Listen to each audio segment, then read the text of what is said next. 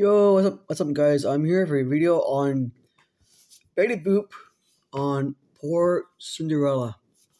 My last time I done, I done, I done, I done this uh, style of content. Last time I did this a couple months ago, I kind of got some uh, somewhat rude comments about doing a cartoon, but I'm going to be a little ballsy by doing this. So let, let's start. Before I go into detail with it, before I start all across the whole entire world, subscribe if you're new, share the video, share the uh, yeah, the video and the uh, push the notifications and the good old like. Let's start. Okay, so back in 1934, I was supposed to do this in August, but I didn't have a chance because I was doing the uh, post Olympic stuff. But here we are. Here we go. So in the beginning of the episode in 1934 classic, Betty Boop's Poor Cinderella in color. It starts with uh, Betty Boop singing with the broom that as she moved. While she, while she was singing her both so uh, her two somewhat ugly stepsisters or stepdaughters, whatever, was demanding Betty Boop to get ready for the ball. In her uh, dress gown ready for the ball. For, for uh, Prince Charming. And um,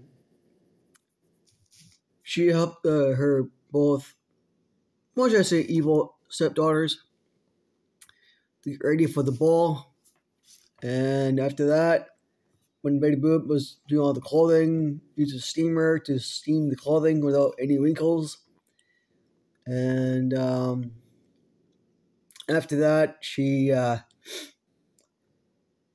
sang a little bit, started crying, lay on the table a little bit, and one of the their fairy godmother came along to cheer up Betty Boop, and she said to Betty Boop, "You're going to the ball."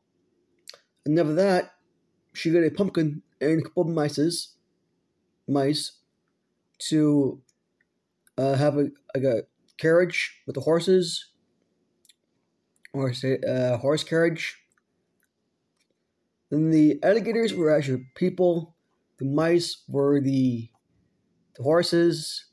The alligators and uh, the pump, well, whatever the carriage was, it uh, got informed into that.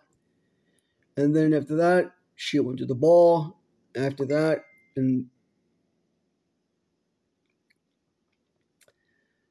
And then she went to the ball, danced with Prince Charming, and with the two guys up in the balcony stairs, uh, blowing their uh, trumpets.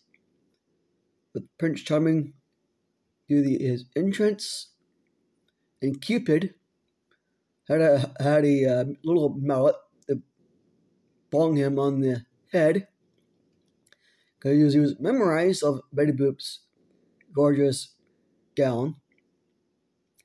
And um, he danced a little bit. And then after midnight, God, the godmother said to Betty Boop, if you don't get home before midnight, you'll be in rags again. And then she ran home, almost, but she ended up in rags again. And the Prince Charming said, Whoever wears this whoever can wear the uh, the uh, glass shoes to wear in her foot will be married to Prince Charming. And then after that, they got married. The two evil stepdaughters were arguing in the ending of the episode, bickering at one another. And uh, then after that, the credits were coming coming on, and the the two daughters were arguing so much. The heads were like going into the wall when the credits come down, and you know. So yeah, that's the uh, classic Betty Boop's Poor Cinderella. There's a couple of videos on YouTube over like 10 millions of views. And it's really famous and infamous and very popular in the mid 30s during the during the dirty 30s.